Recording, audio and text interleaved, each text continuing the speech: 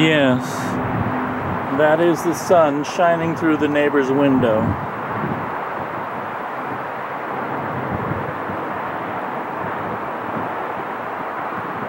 The first marker of spring.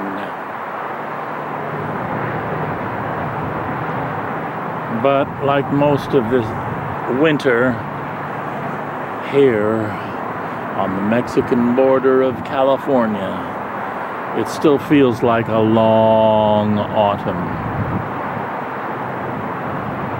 Yes. We have no rain. We have only spitting little bits of rain, which equal nothing. Nothing. And it is so cold out here. I came out here before, but I had to go back in.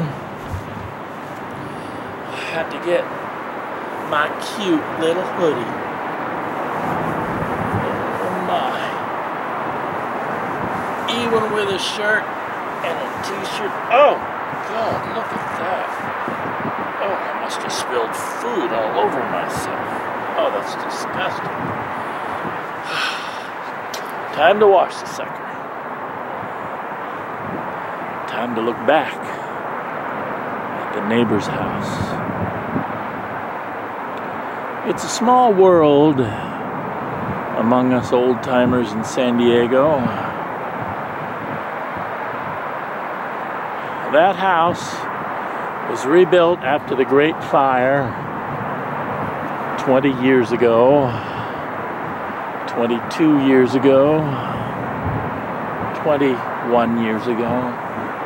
That house where the sun just shone through the windows is the house on the same location of a previous house that was burnt down where the man who was my doctor when I was a baby and two years old. I vaguely remember being three years old, and then my mama switched me over to another clinic where I had another doctor for many years. And then I went to Kaiser, and it's back and forth. So, anyhow, he lived there. He still lives there. He's 90 something years old, retired, of course his second wife. First one died, God love her. The second one is watching over him, taking care of the house. Anyhow,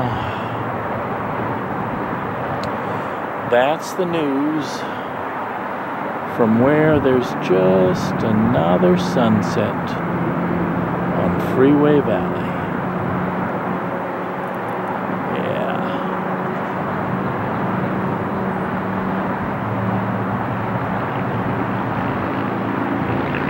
A few moments after the sun came through that window, went down behind the ocean, behind the horizon. And that is all that she wrote.